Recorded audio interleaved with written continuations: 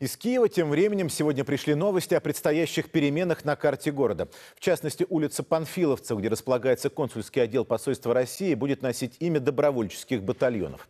Так на Украине официально называют вооруженные формирования вроде Азова, в символике которого находило совпадение с нацистской, в том числе западная пресса. Другой такой батальон «Сич» на грани распуска. Один из его боевиков, главный подозреваемый по делу о гибели троих солдат-срочников во время беспорядков у здания Рады в этот понедельник. В рамках дела арестовано уже 18 человек. На допрос вызывают националистов из партии «Свобода». Ее и лично ее руководителя Олега Тигнебока в первый же день назвал виновным глава МВД Арсен Аваков. А президент Порошенко в свежем телеинтервью возложил всю ответственность на Россию. Националисты обиделись. Подробности у Григория Емельянова. Не нужно говорить, как удобно находить виноватых на стороне, особенно если тебя при этом внимательно слушают журналисты и аудитория британского телеканала Sky News. Да-да, это тот самый Sky, что называл грузинские грады, обстреливавшие Цхинвал в 2008-м, российскими. Теперь новое откровение. По словам Порошенко, это, оказывается, Россия спровоцировала недавнее побоище у Верховной Рады в рамках обширной кампании по дестабилизации Украины. Это была цитата. Уточнять, каким образом Москва вообще может управлять такими засветившимися под Радой организациями, организациями, как «Свобода» или запрещенный у нас правый сектор, Порошенко не стал. Но с нисходительным тоном добавил, видите, как трудно быть украинским президентом.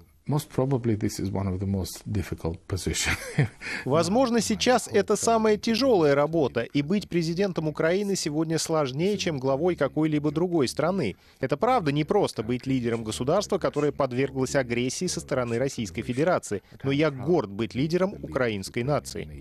Пока Порошенко пытался доказать, как трудно быть Порошенко, политологи и журналисты, три дня гадавшие, кому были выгодны беспорядки у Верховной Рады, теперь ломают голову, причем здесь Россия. По всему выходит просто удобная страшилка как для внутреннего потребителя, так и для известных кругов на Западе. Это попытка как-то списать ситуацию в Украине, которая абсолютно неконтролируемая президентом, на кого-то. Вот в жизни иногда списывают на невестку. Вот сейчас и президент ищет крайнего. Они использовали свободу для захвата власти. Сегодня говорят о том, что свобода контролируется, финансируется э, Кремлем.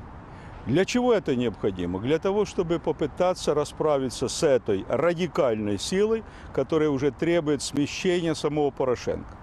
Любопытно, что еще до выступления украинского президента на британском телевидении один из политологов, давший интервью нашему каналу, фактически прямым текстом сказал, мифический русский след украинская власть обязательно будет искать и в этой ситуации. Безусловно, Порошенко будет говорить Западу, что вот э, э, есть радикальные выступления. Ради бога, мы уже вчера слышали, как и радикалы, и представители власти сказали, что это вообще Путин спланировал. И чуть ли не сам гранату бросал, да? Э, то есть, естественно, такие заявления тоже будут звучать. В этом нет ничего удивительного. Они, опять-таки, уже год звучат.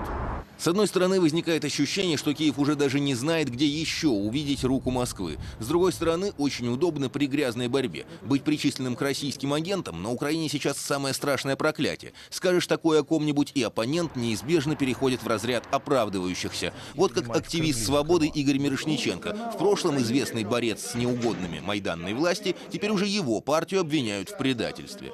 Про мене, э, про украинского националиста, говорят, что я представник... Про меня, украинского националиста, говорят, что я представитель партии, который является рукой Москвы. Что же получается? Партия «Свобода» была рукой Москвы, когда мы сбрасывали Януковича? Те, кто так считает, на самом деле обанкротившиеся политики, которые не имеют других аргументов, чтобы оправдать собственную измену.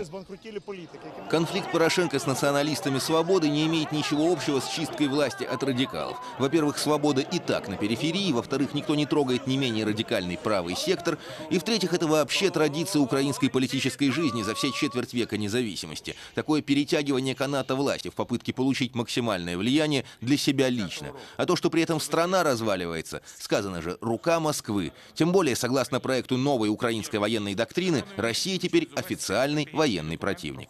Григорий Емельянов, Первый канал.